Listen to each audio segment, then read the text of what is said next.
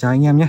Mình đang có mặt tại ờ, thị trấn An Lão, Hải Phòng Để tư vấn khảo sát mặt bằng cho anh ờ, Nam.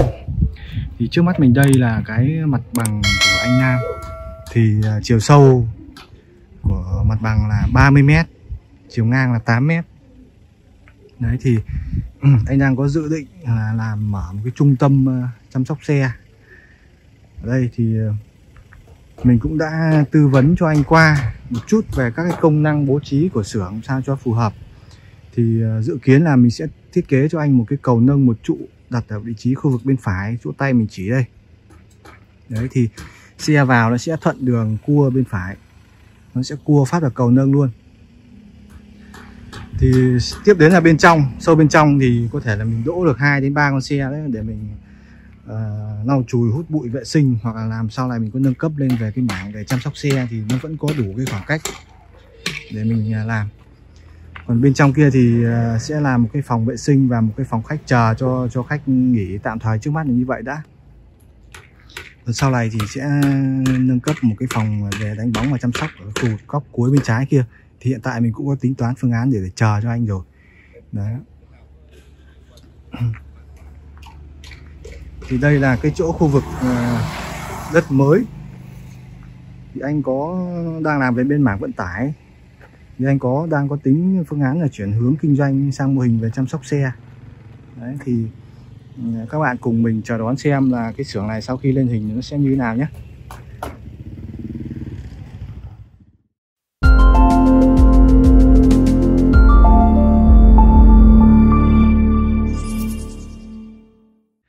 Đây khách hàng có ờ, làm dịch vụ ờ, rửa xe và lau chùi dọn dẹp cơ bản trước mắt là như vậy.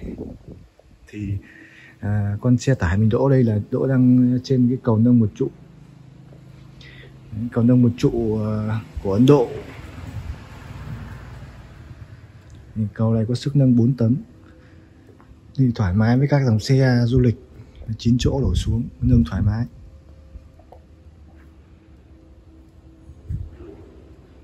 Phía trên có lắp một cái hệ thống tay quay treo rửa xe thì giúp cho cái công việc uh, rửa xe nó trở nên thuận tiện hơn.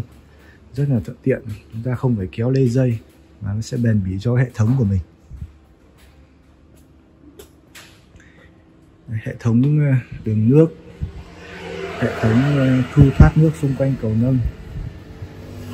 Được bố trí rất là khoa học. Thì cái khu vực này sẽ là khu vực ướt. Thì khi chúng ta rửa xe xong ấy thì ờ, nước nó sẽ được thoát hết ra cái hố ga này. Chúng ta dễ dàng vệ sinh.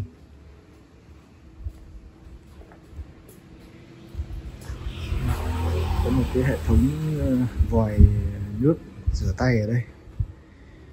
Và bố trí ở bên này là một cây bình tạo bọt tuyết.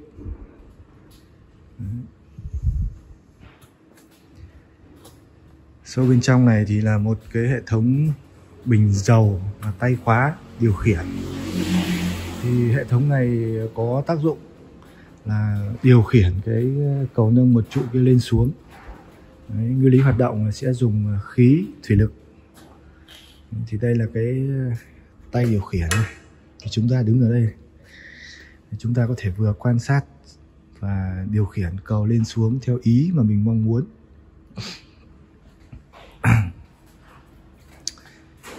Rồi à, một cái à, máy rửa xe ba pha hiệu Uli Việt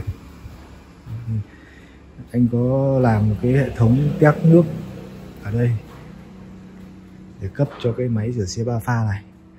Nhưng mà đúng ra ấy, thì à, nên đặt cái tét nước này ở sâu bên trong kia và đi đường ống ra thì nó trông nó sẽ là đẹp hơn.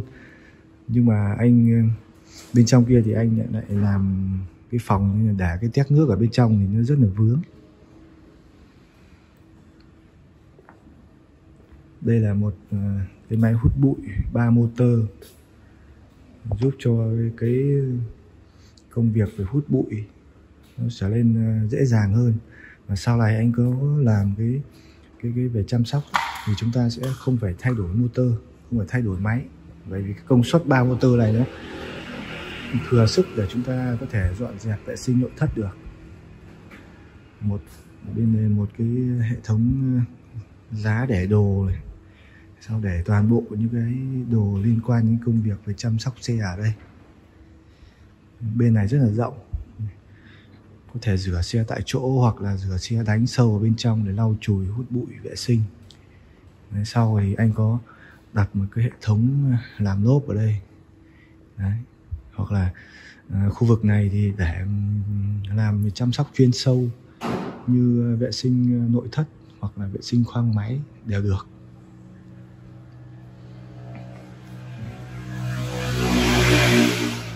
Đây là hệ thống điện của toàn bộ xưởng này. Thì nó sẽ có các cái automat của từng máy một và hệ thống điện dân dụng này được tách riêng. Hệ thống điện dân dụng tách riêng.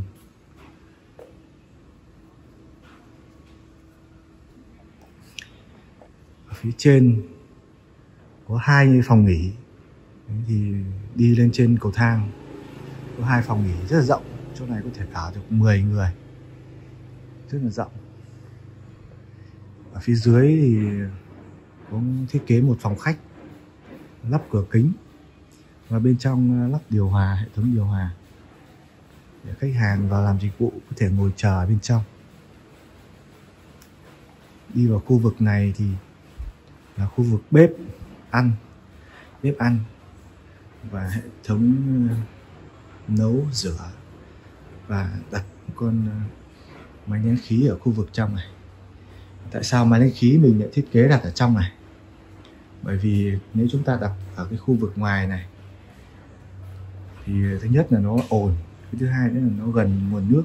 Khi mà chúng ta xịt rửa xe ấy, thì cái máy này nó sẽ nhanh phải xả đáy hơn. Đấy, và đặt ở bên trong này thì rất là khô ráo thuận tiện. Đây là cái khu vực nhà vệ sinh và nhà tắm. Đây khu vực nhà vệ sinh và nhà tắm. Nhà vệ sinh riêng nhà tắm riêng. Được bố trí rất là khoa học.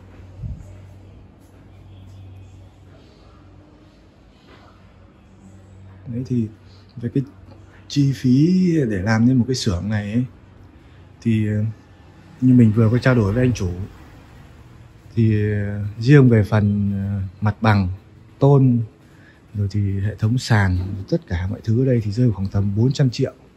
Chưa kể phần máy móc thiết bị của bên mình. Đấy.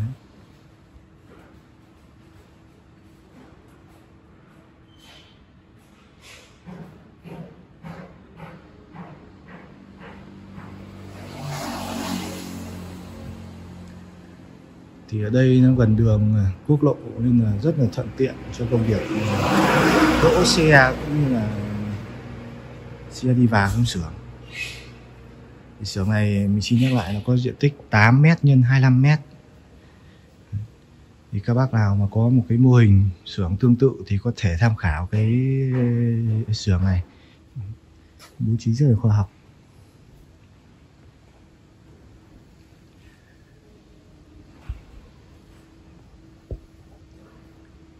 Ok mình cũng ờ, xin dừng video tại đây thôi. Thì ờ, các bác nào mà có muốn ờ, mình tư vấn hoặc là xin cái địa chỉ để đến trực tiếp tại đây để xem, tham khảo thì có thể nhắn tin trực tiếp cho mình. Có số hotline mình để trên đầu video nhé. Cảm ơn tất cả các bác đã xem video của em. Xin chào và hẹn gặp lại các bác.